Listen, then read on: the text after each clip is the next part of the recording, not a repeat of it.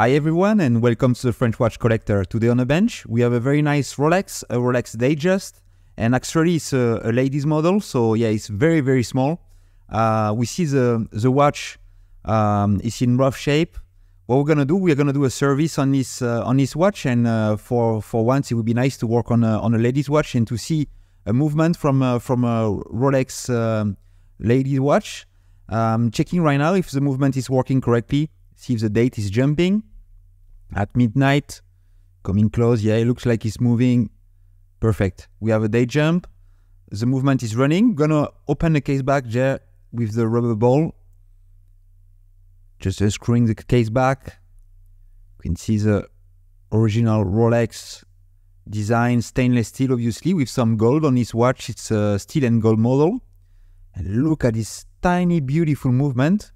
Checking if there is play there in a rotor. No, it looks good. We can see 2030. And actually, it's strange because the 2030 normally is a caliber without a date. Uh, and this watch obviously has a date, so not sure there. It should be a 2035 normally. Checking if everything is working. Yeah, it looks good. And you see on the time grapher the result of the watch. Uh, so the watch is gaining 16, 18 seconds per day. The amplitude is really low, so that's uh, the strength, if you want, of the watch. Uh, 217 degree, so it's missing some strength. So obviously, you need a service. And uh, at the end of the service, we should see the amplitude going right back up. Going to start disassemble the watch by removing first the automatic winding system, which is on top of the caliber there. We disassemble that later. And now we should be able to take this very small caliber out of the case by just removing the case clamp there. That's the first one. And yeah, there is a second one. And here is just turn it over and we can release the caliber and the dial with this beautiful gold hand there. I just remove with a pair of uh, lever. And you can see in the description of the video as well some of the tools that I use uh, to do the job. If you have any question, please don't hesitate in the comment uh, to ask a question about tools or anything else. If you want uh, in the comment section, I will be more than happy to, to reply to your to your comments. Just there is no dial fit screw. Actually, the dial is just pressed on top of the of the caliber, which is uh, yeah, which is strange, but uh, I guess it uh, it work. So the dial now is safe. Just gonna remove the date wheel and we can start now to disassemble the rest of the caliber. But first we remove the power which is stored in the watch. And uh, what I like to do always is to remove the balance wheel and the jewels which are on top of the balance wheel need to be cleaned obviously. We'll put all the parts you will see a bit later in uh, in a cleaning machine. That's a part of the service. We're gonna disassemble everything and uh, all the parts are gonna go in a, in a cleaning machine just to remove the dirt and oil. And these jewels there, obviously there is oil inside, so they need to be cleaned very well. So that's why I'm, I'm going to remove it using a bit of Rodico there to grab the jewel. And uh, they will get clean inside the machine. Taking the balance. You can see a Rolex, uh, Rolex sign engraved on the bottom there. And we can carry on disassembling disassembling the rest of the caliber. We see a lot of similarity by with like uh, the main watch um, and the Rolex caliber in general. You can see like for example this spring that was stuck under the crown wheel. You can see it on a lot of other mechanism from Rolex. That's a click, which is a different compared to other model. Obviously, the gold color uh, ratchet wheel. You can find a lot of Rolex uh, caliber. The click spring here. Just need to be very gentle to make sure it doesn't jump. Perfect. Checking if there is any play there on the barrel arbor, but it looks good. There is no jewel, you see, like uh, there is a, a bush, but no jewel on the, on the plate. And now I'm just going to remove, there we go, this plate on top there and I can remove now the barrel assembly which is underneath that we will disassemble a bit later.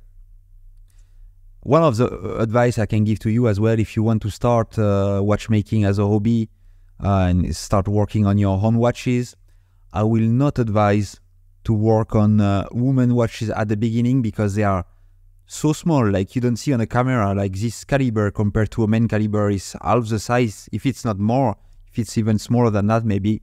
Um, and obviously, each parts are smaller.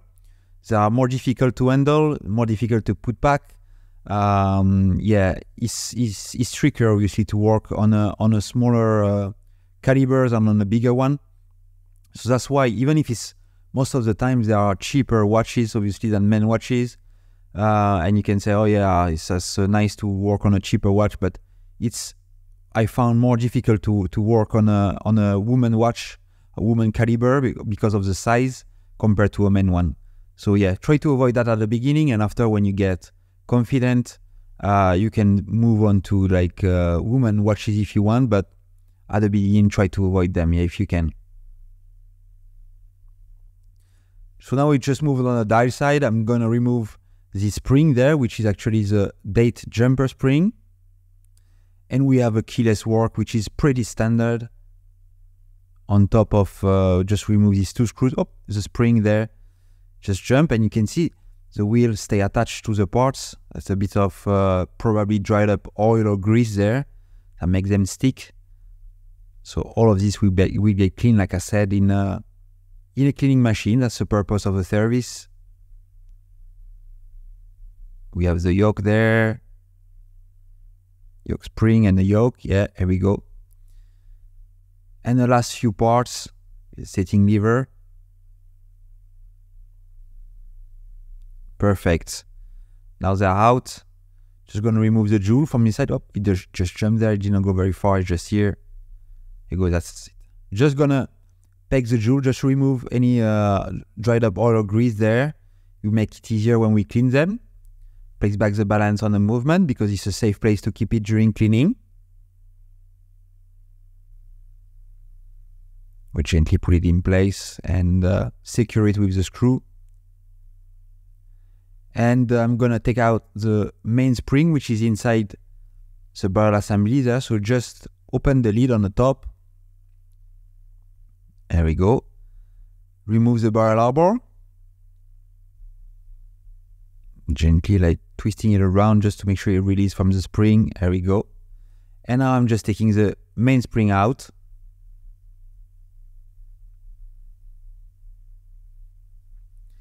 Perfect. Now I'm going to focus on the winding mechanism. You have a clip there. Uh, just remove to release the rotor for the, the shaft, which is from the rotor there. That's it.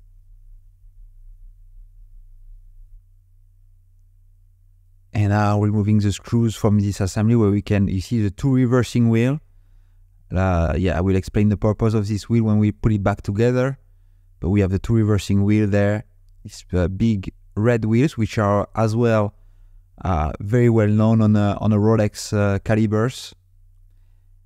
And that's it. All the parts are now disassembled. I'm going to put them in all in baskets. And uh, this basket you will see they will go into my uh, cleaning machine again just to make sure like all the parts are free from grease and uh, oil or dirt. And when we put it back together we have a movement which is as clean as possible. With a with a watch that will run uh, nicely again. Okay so the cleaning is done in few stages. The first one is a cleaning solution. And after we go through two rinsing solution and the last part will be a, a drying. So we'll dry all the parts and we'll be ready to go back on the movement. I would like to use this opportunity to tell you that I have a Patreon page. You can find the link down in the description. And I would like to thank Matt, Christian, David, Shelby, Jan, Christian, Cornet, Alan, David, Ted, Tony, Michael, Steven, John, Tim, and Gregory. These are my patrons that are supporting the channel. So if you want to join the group, uh, you can go on my Patreon page, support the channel. That will help me a lot to put uh, better content out there and keep me motivated. So thanks in advance if you join my uh, Patreon account. Okay, the parts are now clean, rinsed and dried. So we can uh, take them out of the of the cleaning machine and uh, we'll be ready to put them back all together. So first we're gonna rewind the mainspring. Now it's uh, clean. Just gonna use this uh, winder from Bergeon just to rewind the mainspring. So automatic mainspring on this one, obviously. There we go. Just uh, at the end there, we'll have the Y shape, which is uh, very common for automatic winding watch. Just need to push inside there and just finish to wind the last, the last bit there. There we go. Gonna remove the lever and the mainspring is fully wind there. So before putting it back in a barrel arbor in a barrel, sorry, we're gonna put some grease, some graphite grease on the wall and some uh, 80 uh, 200 on the bottom there. And now I can put the freshly clean mainspring, putting the barrel arbor.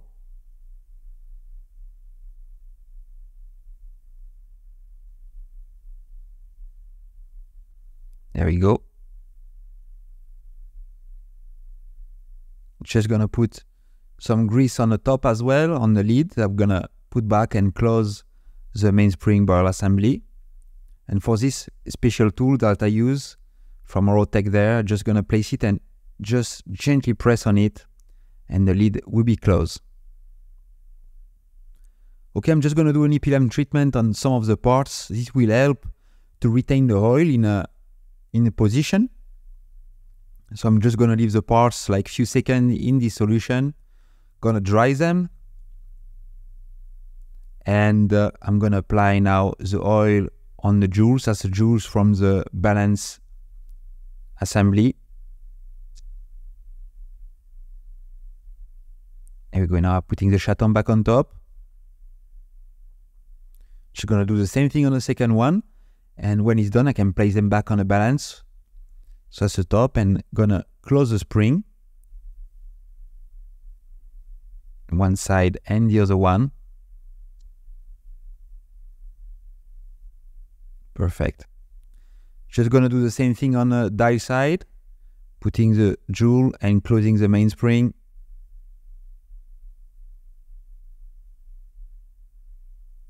I'm just checking now if the balance with blowing some air and yeah, it looks like it's beating and uh, the hairspring is looking nice, so that's good.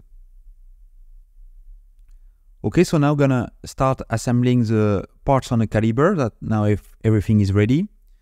So we're gonna put this uh, center wheel with this spring you see underneath. How it gives some tension. There you go, I just put this uh, little bridge on top.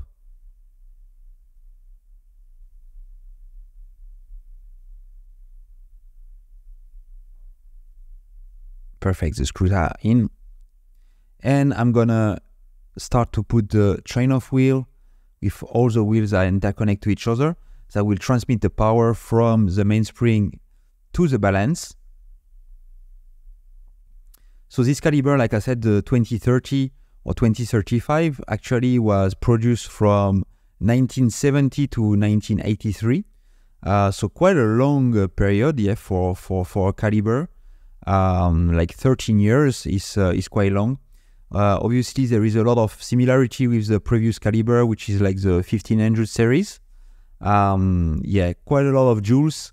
And being a Rolex, obviously, like uh, that's very famous. Even on the men calibers, you will see a lot of jewels, and um, this is why the Rolex uh, calibers are so solid, because the jewels, obviously, like they don't wear. It's like this ruby stones that you can see on top of the plate there.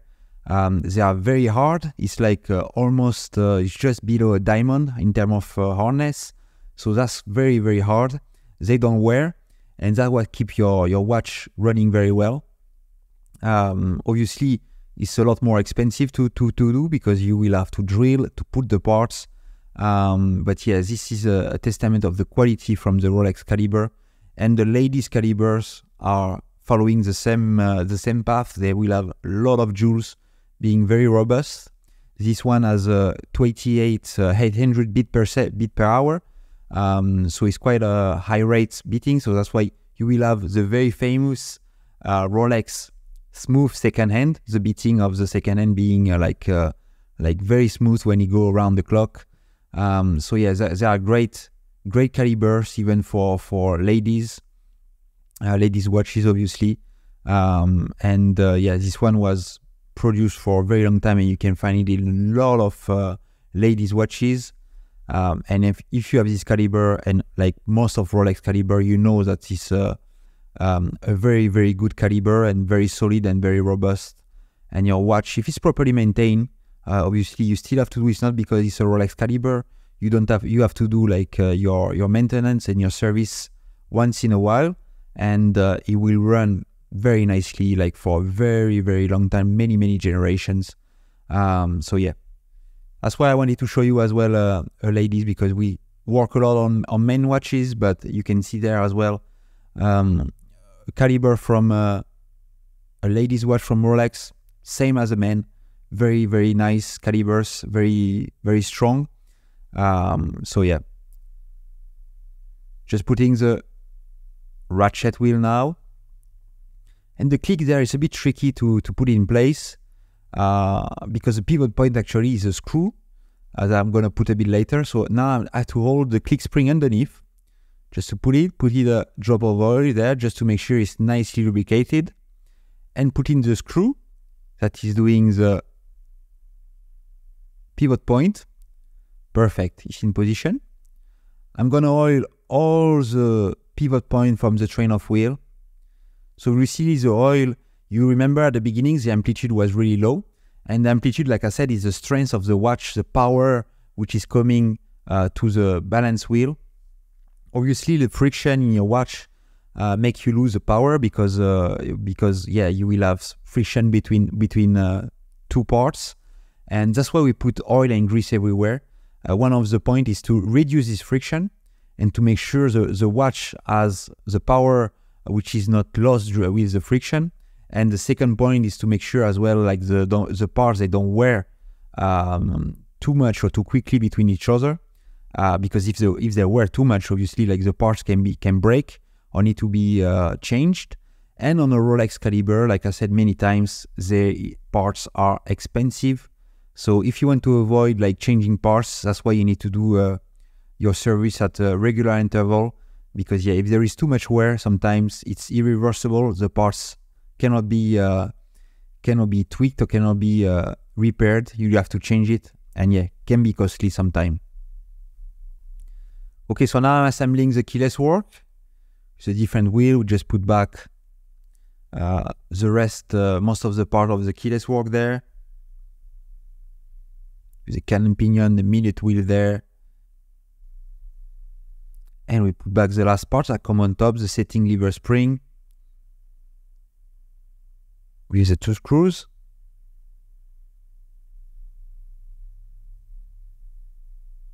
There we go. That's one. Now the second one.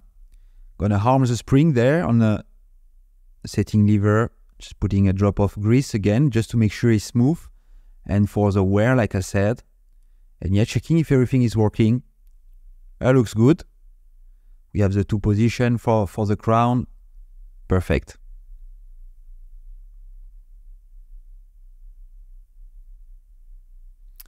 Okay, I'm gonna put the pallet fork in position.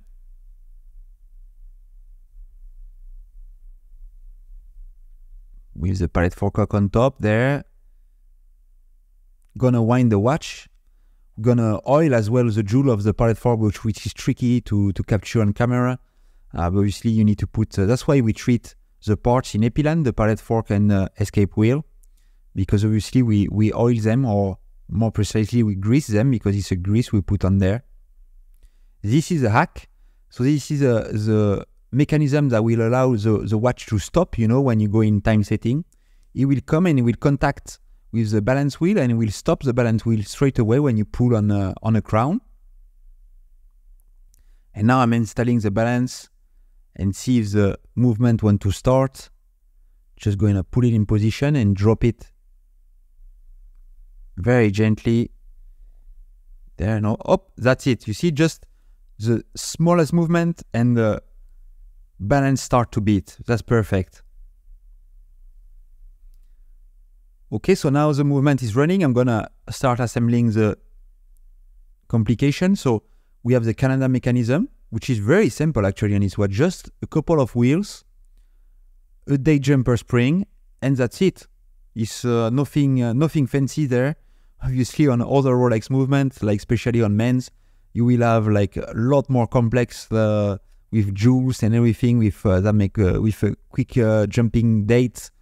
a lot of a lot of uh, more parts if you want, but this is very simple. And we check if the date is jumping when we change the time. Yeah, perfect. I can place back the dial. You remember the dial is just pressed in position on top. There is no dial screw, nothing. And uh, just going to make the date jump. Yeah, that means it's midnight. So when it's midnight, the hour hand will be aligned to 12. So now I'm gonna press it in position. Same thing for the hour hand, just a minute hand, sorry. Gonna press it in position aligned with the 12. Just check, yeah, it's just jump. You see four minutes before midnight. That's perfect, that's fine. I like to have it five minutes before, five minutes after at most, but yeah, that's okay. We're just gonna focus on the case now, gonna remove the o-ring and gaskets from the watch. I'm gonna gonna change later because obviously you want your watch to be watertight and don't get damaged. And for this you need new gasket and o-ring. Gonna remove the different parts from the bracelet. I'm gonna put all these parts in the ultrasonic cleaning machine there to clean them you can see there when I'm starting look at the fumes coming actually that's the dirt coming out of the watch and uh, ultrasonic will go in all the little uh, spots to remove the to remove the dirt there. That's a new gaskets, new O-rings I'm gonna put on the watch. Just gonna lubricate them in Molykote there. Put there the first one in the tube of the watch. Gasket that will go around the brand new gasket that will go around the case back, just to seal obviously the back of the watch.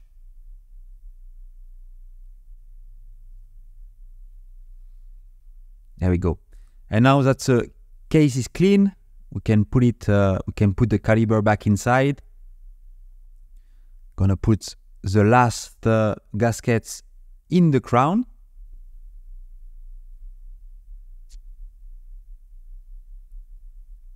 There you go, perfect. And uh, gonna put it back on the movement in the case just to align everything there. Perfect, like now is in place. I can secure the caliber with the case clamp.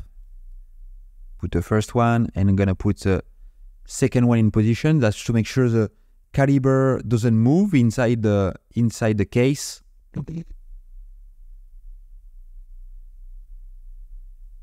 Perfect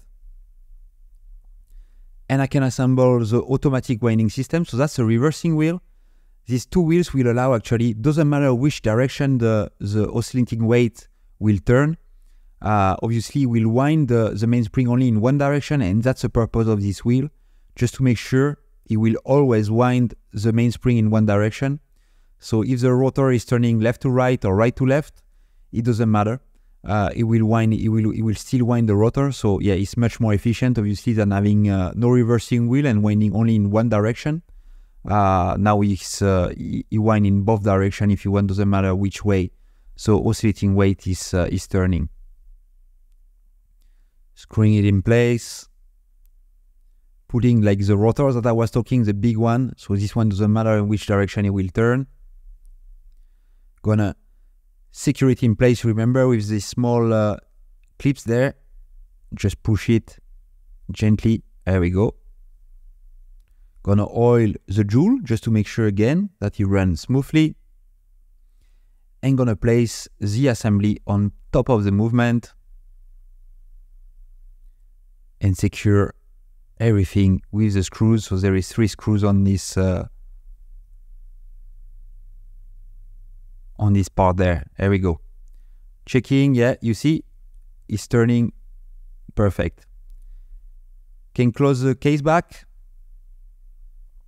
putting the bracelet, and uh, we should see how the watch is running after if the result is good after this service and uh, see if the owner will be happy with the, with the result of this watch.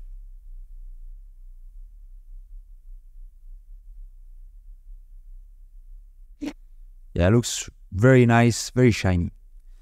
Just want to use the opportunity to tell you that I have a, a website where you can find, you can buy some of the watch, uh, find some history about the channel, uh, buy some of the watch that I restored on the channel, uh, if you if you if you like them. And as well, I propose to service your watch, so you can go there and contact me uh, if you want me to service your watch. Like for example, this Rolex Datejust, I would be more than happy to work uh, to work on your watch. You can find the link down below in the description. And here is the result on a time grapher for the watch. You see the amplitude went right up around 280. The bit error is almost perfect at 0.1 and now the watch is set perfectly. Uh, it's not losing or not gaining any second. It's perfect at zero. So very happy with the result on this uh, on this service. And look at this beautiful steel and gold ladies Datejust. Uh, I think it will make this uh, owner proud again. And obviously will keep good time. So I hope you like this video and uh, I see you next time for my next episode. Bye bye.